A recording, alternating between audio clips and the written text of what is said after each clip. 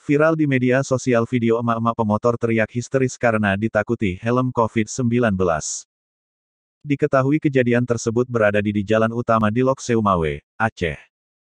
Sabtu, tanggal 29 Mei tahun 2021. Dalam video terlihat emak-emak pemotor kedapatan tidak memakai masker.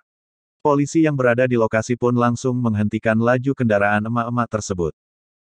Saat motor berhenti, petugas yang mengenakan serba hitam dan helm COVID-19 langsung menyebur emak-emak tadi.